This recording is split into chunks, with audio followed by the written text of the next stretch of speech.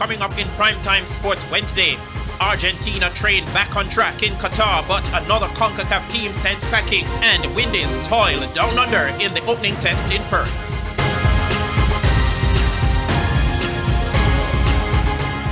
Good evening.